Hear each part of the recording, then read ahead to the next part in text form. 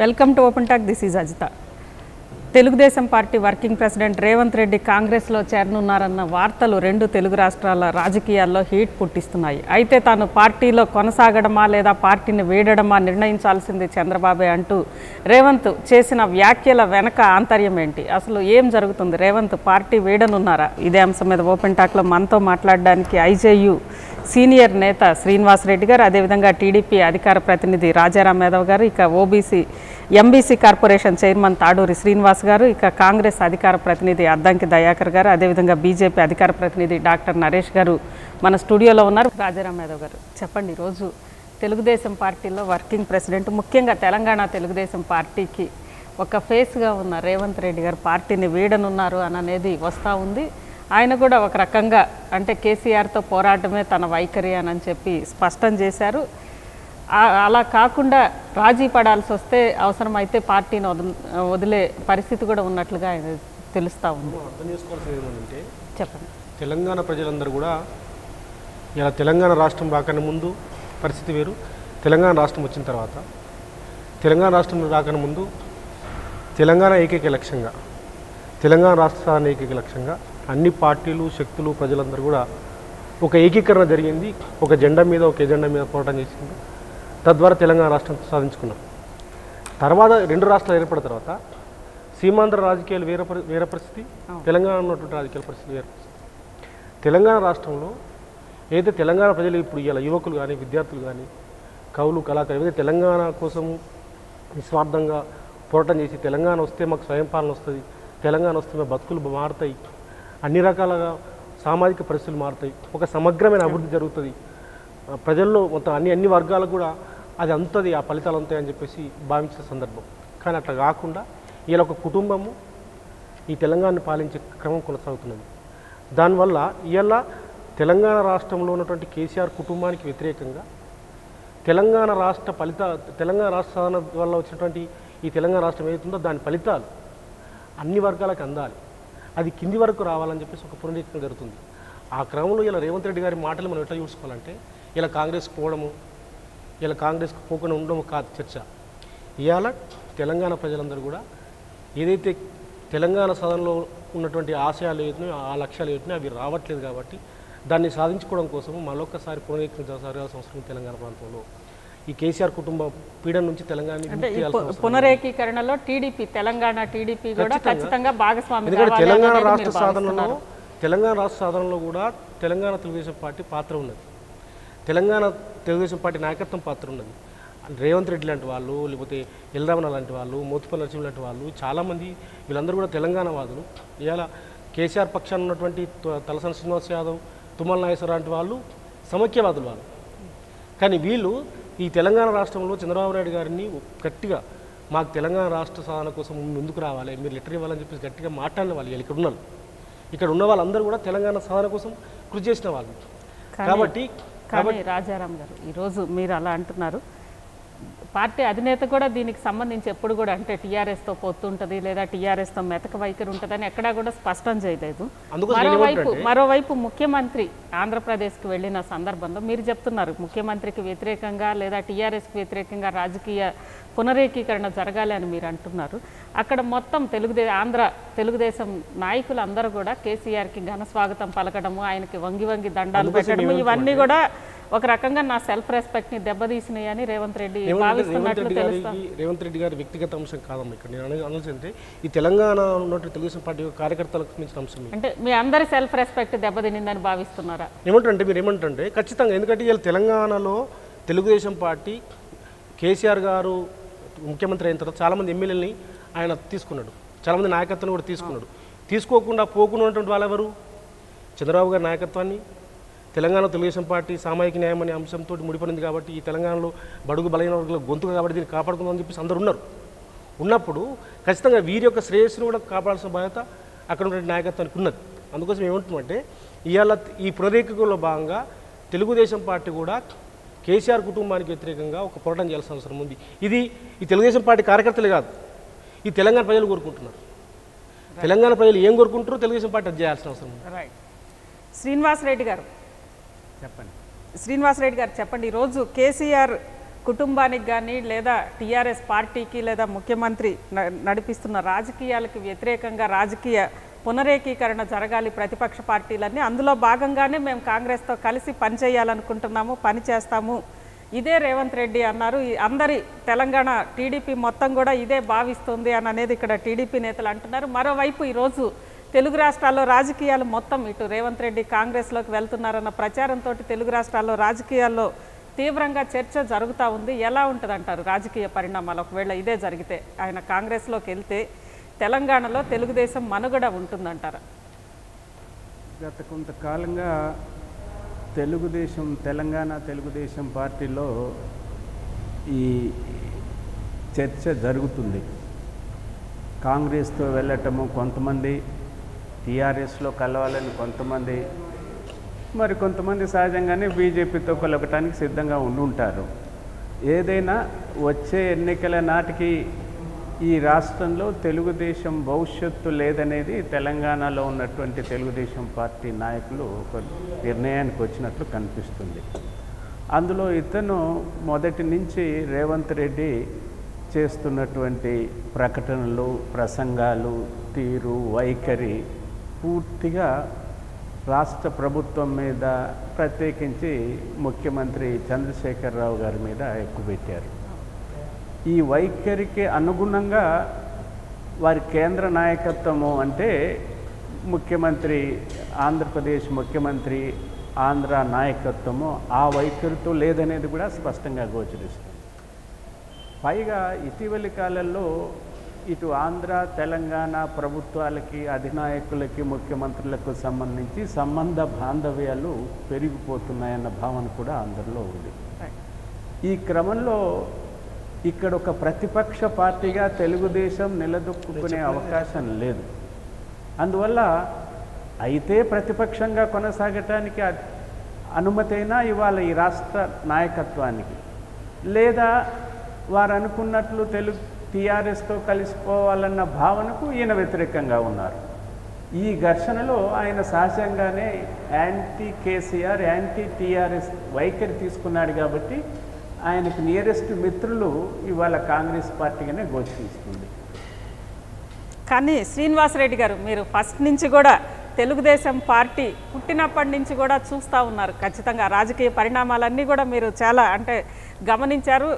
అయితే అసలు తెలుగుదేశం పార్టీ పుట్టుకే కాంగ్రెస్కి వ్యతిరేకం. దాని అంటే ఒక మూల సిద్ధాంతమే యాంటీ కాంగ్రెస్ అనే సిద్ధాంతం ఉన్నప్పుడు ప- ప్రతిపక్షాల పునరేకీకరణ అయినా కానీ కాంగ్రెస్తో తెలుగుదేశం పార్టీ పనిచేయడం తెలంగాణ రాష్ట్రంలో కాదు ఎక్కడైనా సాధ్యం అవుతుందంటారా ఖచ్చితంగా. ఎందుకు కాదు? కేంద్రంలో గతంలో చంద్రబాబు నాయుడు గారు యునైటెడ్ ఫ్రంట్ కన్వీనర్గా ఉన్నప్పుడు ఆ తర్వాత పరిణామాల్లో కాంగ్రెస్తో కలిసి పనిచేయలేదా? చేశాడుగా కేంద్రంలో?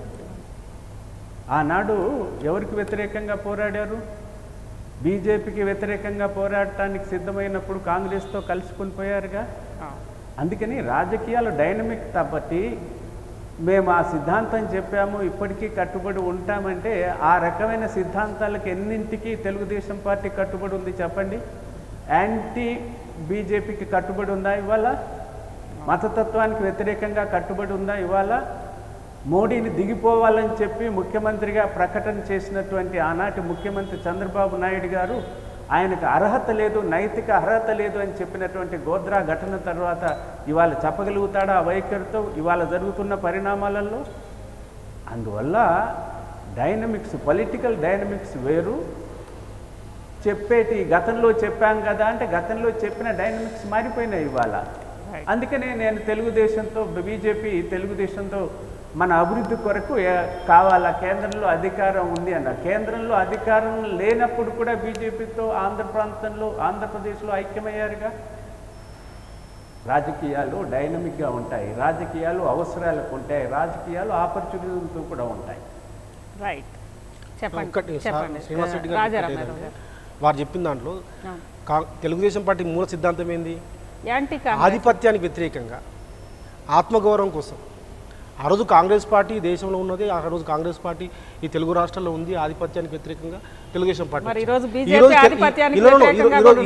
ఈరోజు తెలంగాణ ప్రాంతంలో ఈ రోజు తెలంగాణ ప్రాంతంలో కుటుంబం ఆధిపత్యం కొనసాగిస్తుంది ఒక ఒక ఒక సీమాంధ్ర పెట్టుబడిదారులతోటి ఇలా కుమ్మక్కైనటువంటి పరిస్థితి కనిపిస్తున్నటువంటిది.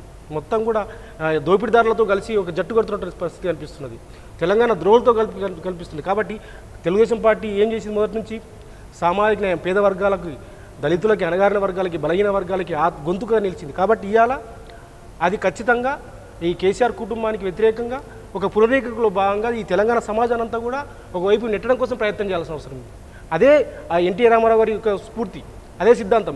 ఇలా ఎవడైతే దోపిడీదారుడో ఈ రోజు రేవంత్ రెడ్డి గారు ఏ అంశాలు అయితే లేవనెత్తారో వాటన్నిటిని మీరు తెలంగాణ తెలుగుదేశం పార్టీ ఒక అధికార ప్రతినిధిగా నాయకుడిగా మీరు అన్నిటిని కూడా సమర్థిస్తున్నారు. కార్యకర్తలు కోరుకుంటుంది అది. ఇలా తెలంగాణ ప్రాంతంలో రేవంత్ రెడ్డి గారు తెలంగాణలో టీడీపీ కార్యకర్తల ఈ- రోజు- రేవంత్ రెడ్డి గారు మిగతా వాళ్ళలాగా నాయకుల్లాగా పోయి ఉంటే ఆయన కూడా మంత్రి అయ్యేవాడు కదా? ఇదే హరీష్ రావు గారు నువ్వు ప్రమాణ స్వీకారం రోజు ఫోన్ చేసి నువ్వు రా ఏ ఏ పోర్ట్ఫోలియో కావాలని చెప్పేసి ఫోన్ చేసిండు కదా. ఆయన కూడా ఇలా తలసాని శ్రీనివాస్ యాదవ్ లాగా మిగతా వాళ్ళు మంత్రి ఉండేవాడు కదా. ఇలా ఎందుకోసము? ఇలా ఆయన జైలు పోయినటువంటి సందర్భం ఇలా తెలుగు తెలంగాణ తెలుగుదేశం పార్టీ పార్టీని బతికించాలి ఇక నిలబెట్టాలని చెప్పేసి కదా. తెలంగాణలో ఉన్న తెలుగుదేశం పార్టీ కార్యకర్తలకి ఒక ఆత్మస్థైర్యాన్ని ధైర్యాన్ని ఇచ్చినందుకే కదా ఇలా ఆయన జైలు పాలైంది. ఇలా మొత్తం కూడా ఈ గత రెండు సంవత్సరాలను చూస్తే తెలుగుదేశం పార్టీ నిలబెట్టడం కోసం ప్రయత్నం చేస్తున్నాడు. ఇలా చంద్రబాబు గారి నాయ- నాయకత్వంలో మేమంతా కూడా ఇప్పటికి కూడా మేము వారితో సహా వారి ఈ నాయకుడు ఇలా నికార్సిన కార్యకర్త. కాదంటారా? రైట్ నరేష్ గారు చెప్పండి ఈరోజు. రేవంత్ రెడ్డి గారు చెప్తున్నారు. రాజకీయ పునరేకీకరణ తెలంగాణలో జరగాలి ఖచ్చితంగా. ముఖ్యమంత్రికి అదే టీఆర్ఎస్కి వ్యతిరేకంగా పునరేకీకరణ జరగాలి. దాంట్లో భాగంగా కాంగ్రెస్తో కలిసి పనిచేయాలి అని చెప్పి ఆయన అంటున్నారు. ఏంటి? ఏం జరగబోతోంది అంటారు రెండు తెలుగు రాష్ట్రాల్లో రాజకీయం. జనరల్గా వాస్తవాలు మాట్లాడుకోవాలంటే ప్రాంతీయ పార్టీలకు సిద్ధాంతాలు రాద్ధాంతాలు ఏమి ఉండవండి? మా సోదరుడు ఇద్దరం కలిసి చదువుకున్నాం ఒక దగ్గర కానీ. వారు ఒప్పుకున్నా ఒప్పుకోకున్నా అది ఒక ప్రాంతీయ కుటుంబ పార్టీ ఇదొక కుటుంబ పార్టీ. ఇటు టీఆర్ఎస్ ఒక కుటుంబ పార్టీ ఒక టీడీపీ కుటుంబ పార్టీ. ఆ రోజు నన్ను మాట్లాడిన తర్వాత నువ్వు మాట్లాడు. నేను మాట్లాడాక నువ్వు మాట్లాడు.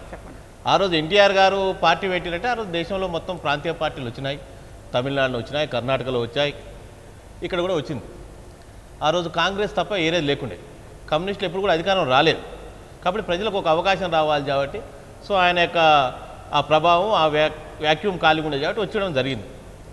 జనరల్గా రేవంత్ రెడ్డి గారి విషయానికి వస్తే రేవంత్ రెడ్డి గారు టీఆర్ఎస్కు వ్యతిరేకంగా సరే ప్రభుత్వానికి వ్యతిరేకంగా పోరాడుతున్న వాస్తవం అది. సో ఇక్కడ ఇక్కడ సిద్ధాంత ప్రతిపాదిక కాదు. అతని యొక్క ఉనికి అతని యొక్క చూసుకోవాల్సిన అవసరం అంటే. ఉనికి రేవంత్ రెడ్డి గారి ఉనికి కోసమే ఆ రోజు ఓటు ఓటుకి నోటు కేసులో ఆయన అనుమతి లేకుండా మనందరం తెలుసుకోవాల్సిన ఒక వాస్తవం ఏంటంటే ప్రాంతీయ పార్టీ అంటే అది ప్రాంతీయ పార్టీ ఒక రాష్ట్రానికే పరిమితం అవుతుంది రెండో రెండో ఇంకో పక్క రాష్ట్రంలో ప్రాంతీయ పార్టీలు అధికారంలోకి వచ్చిన చరిత్ర ఎక్కడ లేదు. భారతదేశంలో ఏ ప్రాంతీయ పార్టీ చూసుకున్నా అది ఒక రాష్ట్రానికే పరిమితమైంది. బిఎస్ బిఎస్పి కావచ్చు జనతాదళ్ పార్టీలు కావచ్చు ములాయం సింగ్ యాదవ్ పార్టీ కావచ్చు శివసేన పార్టీ కావచ్చు అక్కడక్కడ శాఖలు ఉన్నా కానీ అవి నామమాత్రంగానే మిగిలేదు తప్ప ఎందుకంటే ఒక రాష్ట్రానికి ఇంకో రాష్ట్రానికి రకరకాల విషయాల మీద తేడా అంశాలు ఉంటాయి తెలంగాణకు ఆంధ్ర విషయానికి వస్తే ఆంధ్ర తెలంగాణ మధ్య నీటి నీటి విషయాలు కావచ్చు రకరకాల ఉద్యోగాల విషయాలు కావచ్చు అన్నిటి మధ్య మనస్పర్ధలు జరుగుతున్నాయి. కాబట్టి పార్టీ యొక్క స్టాండ్ ఏముంటుంది? చంద్రబాబు నాయుడు గారి స్టాండ్ ఆంధ్రప్రదేశ్కి ఫేవర్గా ఉంటుంది. తెలంగాణకు ఫేవర్గా ఉండదండి. తెలంగాణకు ఫేవర్గా ఉంటుంది. కాబట్టి ప్రా తెలుగుదేశం పార్టీ ఈ తెలంగాణ ప్రాంతంలో ఇంకా ఈ రెండేళ్ళకైనా మూడేళ్ళకైనా కనుమరుగు కానీ- కావాల్సి కనుమరుగు కావాల్సిందే. కనుమరుగు కావాల్సిందే. కాబట్టి నరేష్. గారు ఇక్కడ ఒక విషయం రాజకీయాలు చూస్తే ఈ రోజు రేవంత్ రెడ్డి గారు రైజ్ చేసిన పాయింట్స్ ఏంటంటే ఆంధ్రప్రదేశ్కు వ్యతిరేకంగా ఖచ్చితంగా వస్తాయి నీటి నీటి సమస్య కానీ ఇంకొక సమస్య కానీ బార్డర్ సమస్యలు కానీ ఏమి తలెత్తినా కానీ ఆంధ్రప్రదేశ్లో ఉన్న తెలుగుదేశం పార్టీ నాయకులు ఇక్కడ అధికార పార్టీతోటి అంటగాగుతున్నారు అని అని చెప్పి ఆయన ఫీల్ అయ్యారు. అది కాదంటారా? ఒకవేళ అదే ఇష్యూ అయితే ఇది కాదు కదా రేవంత్ రెడ్డి లేవనెత్తాలి నేను ఒక విషయం చాలా స్పష్టంగా చెప్పాను. రెండు రెండే అని రెండు కుటుంబ పార్టీలే. ఎందుకంటే కేసీఆర్ గారు అక్కడ అనంతపూర్లో పెళ్ళికి పోయినాక పర్సనల్ సమావేశాలు పెట్టవలసిన అవసరం లేదు. సమ- ఆ పైలో కేసులతో పర్సనల్గా మాట్లాడవలసిన అవసరం లేదు. దాన్ని బట్టి అండర్స్టాండింగ్స్ అర్థం కావచ్చు. ఆ ఓటుకు నోటు కేసు విషయం ఎంతవరకు వచ్చిందో మనందరికి తెలుసు. కాబట్టి ఎవరి ఈక్వేషన్స్ వారికి ఉంటాయి ఎవరికి ఉంటుంది. ఒకటి మటుకు వేస్తాం ఏంటంటే ఇక్కడ టీఆర్ఎస్ కావచ్చు అంటే టీఆర్ఎస్ వేరు. టీడీపీ మటుకు అగైనెస్ట్ కాంగ్రెస్ మాట వాస్తవం అది. సో ఫస్ట్ కాంచి కూడా కాంగ్రెస్కు వ్యతిరేకంగా పుట్టిన పార్టీ ఇది దీంట్లో ఎలాంటి డౌట్ లేదు. కానీ ఇక్కడ విషయానికి వస్తే ఇక్కడ రేవంత్ రెడ్డి గారు కాంగ్రెస్తో సాహసం చేస్తున్నారు. సో అధికార పార్టీకి వ్యతిరేకంగా అన్ని పార్టీలు కలవాలనేది అది సమంజసం కాదు. ఎందుకంటే సిద్ధాంతం బేస్ మీద పనిచేసే పార్టీలు ఉంటాయి. For example Bharatiya Janata party. Bharatiya Janata party మా యొక్క సిద్ధాంతం దేశంలో ముక్త కాంగ్రెస్. అసలు కాంగ్రెస్ అనేది లేకుండా భారతదేశం చేయాలనేది మా టార్గెట్. మేము ఎలా ఏకీకమైతమని అని మేము సొంతంగానే పోరాటం చేస్తున్నాం తెలంగాణలో. తెలంగాణలో మేము సొంతంగానే అధికార పార్టీని ఎదుర్కొంటున్నాం. ఇప్పుడు ఇక అంతేగాని టీఆర్ఎస్ ఏదో పెద్ద బలం ఉన్న పార్టీ దాన్ని ఎదుర్కోనికి మనం అంతా ఒకటి కావాలన్నా మూర్ఖత్వం. ఎందుకంటే సరే తెలంగాణ గాలి ఆయనకేదో అరవై రెండు అరవై మూడు సీట్లు వచ్చినాయి తెలంగాణ ఆ సింపతిలో. దాని తర్వాత అధికారమే. అధికారమే లాంఛనంగా అధికారంతో బతకొచ్చు అని ఏదైతే సోకాళ్ళు వ్యాపారస్తులు కొంతమంది ఎమ్మెల్యేలు అయిన వాళ్ళు పార్టీలో జంపులు చేయడం జరిగింది. అందుకని టీఆర్ఎస్ పార్టీ తెలంగాణ ప్రాంతంలో అనుకున్నంత స్ట్రాంగ్ ఏం లేదండి మనం భయ సో ఈయన అందరినీ ఒక ఒక తాటి మీద తీసుకురావడం ఇది కాని పని. కాబట్టి ఆయనకి కాంగ్రెస్ మీద ప్రేమని కాంగ్రెస్ మీద పోతుంది తప్ప అందరూ ప్రతిపక్షాలన్నీ ఒక కాడ కావాలనేది రాంగ్. ఇప్పుడు మా నరేష్ గారి మిత్రులు చెప్పండి. మా విద్యార్థి నాయకుడు టీఆర్ఎస్ పార్టీ విద్యార్థి విభాగం మొదటి అధ్యక్షుడు కూడా వారు. వారంటే నాకు చాలా గౌరవం. ఒకటి ఏంటంటే భారతీయ జనతా పార్టీ ఒకటి తెలుసుకోవాల్సిన అవసరం ఉందంటే టీఆర్ఎస్ పార్టీకి మీరు అధికారం తీసుకురావడం కోసం మళ్ళీ కేసీఆర్ ముఖ్యమంత్రి తీసుకోవడం కోసం పనిచేస్తుండ్రా? లేదా ప్రత్యామ్నాయం కోసం పనిచేస్తారు? మీరు నిర్ణయించుకోవాల్సిన అవసరం ఉంది. మీలాంటి వాళ్ళు చాలా మంది చేస్తారు కానీ కేసీఆర్. ముఖ్యమంత్రి? చేయడమే కుటుంబ తెలంగాణ. ప్రాంతంలో తెలంగాణ ప్రాంతంలో. కుటుంబానికి ఏదైతే కుటుంబాలకు వ్యతిరేకమంటున్నారో ఆ కుటుంబాలకు అంటగవుతున్నారు ఇవాళ ఇవాళ లక్ష్మణ్ గారు ఏమో కిషన్ రెడ్డి గారు ఏమో ఒక మాట మాట్లాడతారు ఇవాళ అక్కడ నుంచి మంత్రి కేంద్ర మంత్రి వచ్చి ఇలా కేటీఆర్ గారు బాగా చేస్తున్నారు ఇలా కేసీఆర్ గారు బాగా చేస్తున్నారు మా చాలా గొప్ప పాలన బిహార్ నుంచి తెలుగుదేశానికి సంబంధించి పరిమితం మీ మంత్రి మీ మంత్రి వచ్చి ఏం.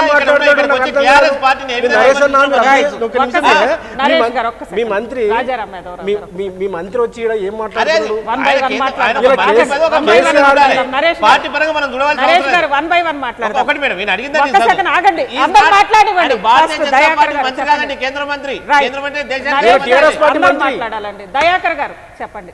ఈరోజు రేవంత్ రెడ్డికి సంబంధించి చర్చ జరుగుతూ ఉంది. తెలుగు రాష్ట్రాల్లో తెలుగుదేశం పరిస్థితి ఏంటి అని అనే దాని మీద ముఖ్యంగా తెలంగాణలో ఇలాంటి చర్య ఒకవేళ ఇలాంటి స్టెప్ కనుక తీసుకుంటే తెలుగు రా- తెలంగాణలో తెలుగుదేశం పార్టీ ఉంటుందా? ఒకటి టీడీపీ పార్టీ నుంచి రేవంత్ రెడ్డి గారు కాంగ్రెస్ పార్టీలకు వస్తారా ఇంకే పార్టీలకు పోతారా అనేది ఇంక ఇతమిద్దంగా తెలియలేదు కాబట్టి మనం రేవంత్ రెడ్డి ఒకవేళ కాంగ్రెస్ పార్టీకి వస్తా అంటే మాత్రం మేము ఆహ్వానిస్తాం. ఎవరు వచ్చినా ఆహ్వానిస్తాం. మా మిత్రుడు వచ్చినా కూడా మేమేం వ్యతిరేకించాం. ఎందుకంటే టీఆర్ఎస్ వ్యతిరేకంగా ఈరోజు టీఆర్ఎస్ టీఆర్ఎస్ వ్యతిరేక వ్యతిరేకంగా బీజేపీ వచ్చినా స్వాగతిస్తారు compulsory పార్టీగా స్వాగతిస్తారు. బీజేపీ వచ్చినా ఇక్కడ- ఇక్కడ తెలంగాణలో- కాంగ్రెస్ ముక్త భారత్. తెలంగాణలో తెలంగాణలో తెలంగాణ కాదు భారతదేశంలో తెలంగాణ ముఖ్యమంత్రి అంతా ఒక నియంతృత్వ ధోరణి ఎవరు కూడా లేరు. నేనైతే దాదాపు ఈ మధ్యనే ఒక ఏడెనిమిది రాష్ట్రాలు ఎన్నికల ఎన్నికల కొరకని లేకపోతే సమ్ అబ్జర్వేషన్స్ కొరకని కూడా పోయినాం. ఎక్కడ కూడా ఇంత నియంతృత్వ పాలన ఇంత ఏకపక్ష పాలన ప్రజాస్వామ్యంలో రాజరికాన్ని ఆచరించే పాలన ఎక్కడ కూడా లేదు. మరి టీఆర్ఎస్ మిత్రులు ఉన్నారా? ఎవరైనా ఉన్నారా? వస్తారా. ఎందుకంటే వాళ్ళు లేనప్పుడు మరి ఎక్కువ విమర్శిస్తే కూడా బాగుండదు ఏకపక్షంగా ఉంటుందని నేను వాళ్ళు వచ్చినాక విమర్శిస్తా. కానీ ఇక్కడ మనం ఆలోచించాల్సింది ఏంటంటే రేవంత్ రెడ్డి గారు లేవనెత్తిన అంశాలు ప్రధాన అంశాల మీద కూడా చర్చ జరగాలి. యనమల రామకృష్ణునికి రెండు వేల కోట్ల రూపాయల కాంట్రాక్ట్. కాంట్రాక్ట్లు వచ్చినాయా రాలేదా అనేది టీఆర్ఎస్ ప్రభుత్వం చెప్పాల్సిన అవసరం ఉంటుంది. రెండవది ఏంటంటే ఈ బీర్లా కంపెనీకి సంబంధించి. అసలు తెలంగాణ అస్తిత్వమే ఆంధ్ర పెట్టుబడిదారులకు వ్యతిరేకంగా. ఆంధ్ర ప్రజలకు వ్యతిరేకంగా జరగాలి.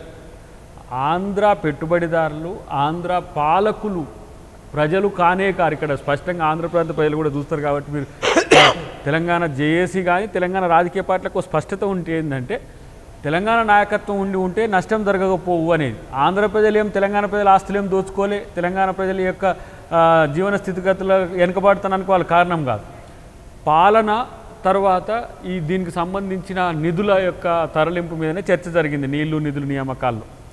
ఇలా పూర్తిగా తెలంగాణ ఏర్పడిన తర్వాత కూడా అదే పెట్టుబడిదారుల చేతిలో కేసీఆర్ బందీగా ఉండనే చర్చ ఈరోజు పెడుతున్నట్టుగా నేను భావిస్తున్నా. ఈ చర్చ ఏదైతే తను చిట్చాట్లో మాట్లాడి ఇంతవరకు ఓపెన్ గేమ్ రాలే. ఒకవేళ అట్లా కాదు అని అంటే నిజంగా రేవంత్ రెడ్డి మీద మీరు ఈరోజు ఫైర్ కావచ్చు మీరు అవసరమైతే పరువు నష్టం దావా వేసుకోవచ్చు యనమల రామకృష్ణ అయినా పయ్యావుల కేశవులైనా లేకపోతే పరిటాల శ్రీరాములు జూనియర్ శ్రీరాములు అయినా సరే.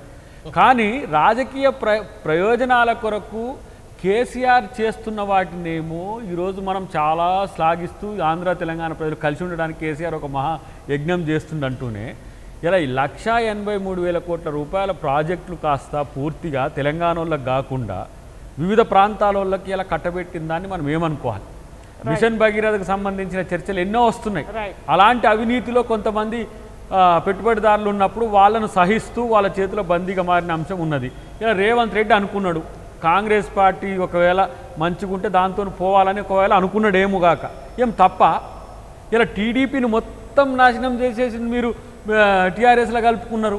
పన్నెండు మంది ఎమ్మెల్యేలు ఒక ఎంపీ తర్వాత అసలు టీడీపీ ఇక్కడ ఏముంది? టీడీపీ ఉండాల్సిన అవసరం లేదు అంటున్నారు. నేను ఇలా ప్రశ్నిస్తున్నది ఏంటంటే మా రాజారాం కూడా సమాధానం చెప్పలేంటి ఏంటంటే చంద్రబాబు నాయుడు చంద్రశేఖర్ రావుతో కలిసిపోవాలనుకుంటే ఇక్కడ ప్రజాస్వామ్యయుతంగా టీఆర్ఎస్ను వ్యతిరేకించే నైతిక హక్కును టీటీడీపీ కోల్పోబోతుంది. కొంతమంది ఈరోజు ఏంటంటే బీజేపీ టీడీపీ టీఆర్ఎస్ ఒక ఎత్తుగా పోవాలనే ఒక ఆలోచనతో ఉన్నారు. బీజేపీ టీడీపీ ఏమో పొత్తుంది ఆంధ్రాలోనే ఉంది తెలంగాణ లేదని వాళ్ళు ప్రకటిస్తున్నారు. బీజేపీ ఏమో టీఆర్ఎస్ చేసే అవినీతిని సమర్థించినట్టుగా పైకి కనపడుతున్నది. మరి లోపాయికారికంగా ఏం ఎక్కడ జరుగుతుంది సమర్థిస్తలేమన్నా? మీ ఎక్కడ సమర్థిస్తలేమన్నా? వాడే వచ్చి నల్లా కేంద్రం దిగిపోయిండు. నుంచి కానీ సమర్థిస్తున్నారు ఇప్పుడు రాష్ట్రంలో టీటీడీపీ ఇది. ఒకటే. ఇక్కడ స్పష్టం చేయాల్సింది టీటీడీపీ కాంగ్రెస్ పార్టీ ముందు ఒక ఒక ప్రపోజల్ పెట్టింది. వన్ బై థర్డ్ మాకు ఇవ్వండి సీటు టూ బై థర్డ్ మీరు తీసుకోండి. వామపక్షాల్లో సిపిఐతో మేము మాట్లాడుతున్నాం. సిపిఎంతో మా కేంద్ర పార్టీ మాట్లాడుతుంది.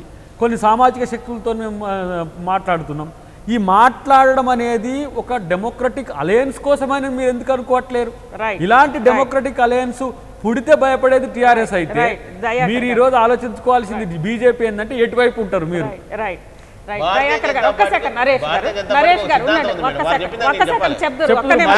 ఇదే అంశం మీద మనతో మాట్లాడడానికి మరో తెలంగాణ కాంగ్ టీడీపీ అధికార ప్రతినిధి దుర్గా ప్రసాద్ గారు ఫోన్ లైన్లో ఉన్నారు. దుర్గా ప్రసాద్ గారు చెప్పండి ఈరోజు ఆ, తెలంగాణ రాష్ట్రంలో అధికార పార్టీకి వ్యతిరేకంగా ప్రతిపక్షాల పునరేకీకరణని రేవంత్ రెడ్డి ప్రతిపాదించారు. దాంట్లో భాగంగానే కాంగ్రెస్ అధినాయకులతో కానీ కాంగ్రెస్ పార్టీతో ఇన్ని రోజులుగా కూడా కలిసి పనిచేస్తున్నాం. అందులో భాగంగానే పొత్తు పెట్టుకుంటే తప్పేంటి అని అనేది రేవంత్ రెడ్డి గారి ప్రశ్న. దాన్ని మీరేమంటారు? అదేవిధంగా ఆయన కొన్ని అంశాలు కూడా లేవనెత్తారు. ముఖ్యంగా ఇక్కడ అధికార పార్టీకి వ్యతిరేకంగా తెలంగాణ తెలుగుదేశం పార్టీ కార్యకర్తలు నాయకులు పోరాడుతూ ఉంటే మరోవైపు ఆంధ్రప్రదేశ్కు చెందిన మంత్రులు కానీ వీళ్ళంతా ఇక్కడ కాంట్రాక్ట్స్ ఇవన్నీ దక్కించుకోవడము అదేవిధంగా ముఖ్యమంత్రి గారు అక్కడికి వచ్చినప్పుడు వంగి వంగి దండాలు పెట్టడము ఇవన్నీ కూడా మా ఆత్మగౌరవాన్ని దెబ్బతీసినాయి అనేది ఆయన ప్రశ్నిస్తున్నారు. దీన్ని మీరేమంటారు? అజిత గారు రెండు విషయాలు స్పష్టంగా అడిగారు మీరు. చెప్పండి. ఈరోజు పార్టీ లైను పార్టీ అనేది మాకు జాతీయ అధ్యక్షుడు ఉన్నాడు. జాతీయ అధ్యక్షుల వారు ఎన్నికలప్పుడు ఒక ప్రణాళిక ప్రకారం ప్రజలకు ఇచ్చినటువంటి అధికార పార్టీ ఇచ్చినటువంటి హామీలు నిలబెట్టలేకపోతే ప్రజల్లోకి ఏ విధంగా తీసుకుపోవాలా? ఎన్నికలప్పుడు ఏ వ్యూహం ఉంటుంది అనేది పార్టీ విల్ డిసైడ్ మనకు మనం నేను ఇప్పుడు దుర్గా ప్రసాద్ గానో లేకపోతే ఇంకో వ్యక్తి రామయ్యో భూమయో ఎవరో పోయి ఫలానా దాంతో కలవాలి ఫలానా ఎవరు చెప్పినా తప్పే. ఏ పార్టీతో ఎవరు కలుపుతామని చెప్పినా తప్పే. దట్ ఈస్ రాంగ్ అది పార్టీ ఫోరం మీద నిర్ణయించాల్సినటువంటి విషయం.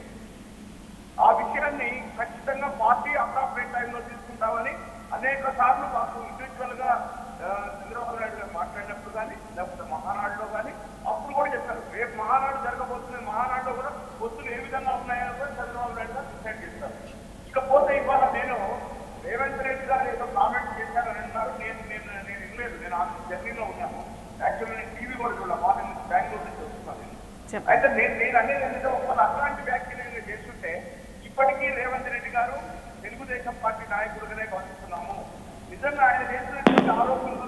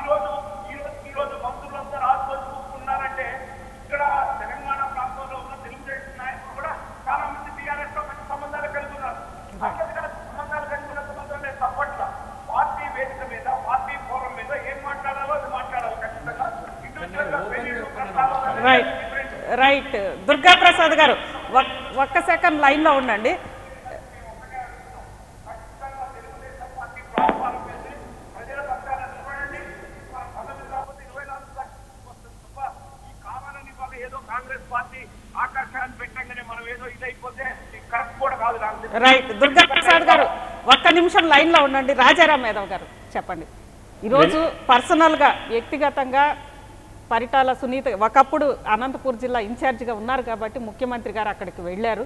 వెళ్ళినప్పుడు రిసీవ్ చేసుకోవడం అని అనేది మినిమమ్. ఇది దాంట్లో తప్పేముంది అని తర్వాత పొత్తులు ఎలా ఉండాలి దేని మీద ఫైట్ చేయాలనేది నిర్ణయించాల్సి ఉంది పార్టీ అధ్యక్షుడు. పార్టీ అధ్యక్షుడు నిర్ణయించేదాకా కాకుండా ఎవరంటే వాళ్ళు వ్యక్తులు వచ్చి మేము ఫలానా పార్టీతో పొత్తు పెట్టుకుంటామని ఎవరన్నా తప్పే అనేది గమనించండి. ఎక్కడైనా రేవంత్ రెడ్డి గారు కానీ మిగతా నాయకత్వం కానీ కాంగ్రెస్తో పొట్టు పెట్టుకోవడం ప్రకటించలేదు కదా. చంద్రబాబు నాయుడు గారే చేయాలి. ఏదైనా కానీ మా నాయకుడే చేయాలి. కాబట్టి ఇలా అడుగుతా ఉన్నాం. తెలంగాణ ఉన్నటువంటి తెలుగుదేశం పార్టీ నాయకత్వం ఇలా ఆంధ్ర ప్రభుత్వము తెలుగుదేశం పార్టీ తెలుగుదేశం ప్రభుత్వము అక్కడ ఉన్నటువంటి ఇక్కడ ఉన్న టీఆర్ఎస్ ప్రభుత్వం మధ్య అధికార ప్రతినిధిగా మాట్లాడుతున్నారు మా దుర్గాప్రసాద్ మిత్రులు. ఏమంటున్నారంటే ప్రభుత్వాలకు ప్రభుత్వాలు కాదు. ఇక్కడ తెలంగాణ తెలుగుదేశం పార్టీ అనే వాళ్ళు చాలామంది ఇలా కాంటెస్ట్ కాంటెస్ట్ చేసిన వాళ్ళు ఉన్నారు ప్రజల కోసం పనిచేసిన వాళ్ళు ఉన్నారు. ఇలా టీఆర్ఎస్ పార్టీ ఆధిపత్యానికి వ్యతిరేకంగా పోరాటం చేస్తేనే ఇలా ముందుకెళ్ళే పరిస్థితి ఉన్నటువంటి సందర్భం. కాబట్టి ఇవాళ మనము నాయకత్వం మీద మనం మనం అందరం ఉమ్మడిగా ఏం మాట్లాడాలి? ఇలా అభిప్రాయం ప్రజాస్వామ్యంలో అభిప్రాయాన్ని వెలిపించే హక్కు ఉంది కదా? ఇలా తెల ఇలా వర్కింగ్ ప్రెసిడెంట్గా కానీ మిగతా కార్యకర్తలు కానీ ఇప్పుడు కాంటెస్ట్ చేసిన వ్యక్తులు కానీ ఇలా తెలంగాణ తెలుగుదేశం పార్టీ ఏం రోల్ నిర్వహించాలి? ఆ రోజు స్వర్గీయ ఎన్టీ రామారావు గారు ఏదైతే ఆధిపత్యానికి వ్యతిరేకంగా దోపిడీకి వ్యతిరేకంగా పటేల్ పట్టవారి వ్యవస్థకు వ్యతిరేకంగా దొరలకు వ్యతిరేకంగా ఏదైతే గొంతుక ప్రజల గొంతు ఇప్పించిండో పేదల గొంతు ఇప్పించిండో ఈ తెలంగాణ ప్రాంతంలో కూడా బలహీన ఉద్యోగాలు లేవు నిరుద్యోగ విద్యార్థులందరూ లక్షల రెండు లక్షల ఉద్యోగాలు ఖాళీ ఉంటే ఇలా ఉద్యోగాలు లేవు. ఇలా నలుగురికి ఉద్యోగాలు వచ్చినాయి. ఇలా మిగతా అన్ని దళితులకు మూడు ఎకరాలు ఉన్న డబుల్ బెడ్రూమ్ అన్నారు. ఇలా కేవలం ప్రజా కనీసము కనీసము ఇన్నిసార్లు ముఖ్యమంత్రి గారిని అక్కడ ఆంధ్రప్రదేశ్లో పార్టీ అధ్యక్షుని కలిసే అవకాశం ఉన్నప్పుడు అక్కడికి వెళ్ళి ఈ రోజు ఆంధ్రప్రదేశ్ మంత్రులకు సంబంధించి కాంట్రాక్ట్లు యనమల రామకృష్ణుడు రెండు వేల కోట్ల కాంట్రాక్ట్ గానీ లేదా పరిటాల సునీత గారు మీద చేసిన అలిగేషన్స్ అవునండి. ఇవన్నీ చంద్రబాబు నాయుడు గారికి ఫిర్యాదు చేసే అవకాశం ఉంది కదా.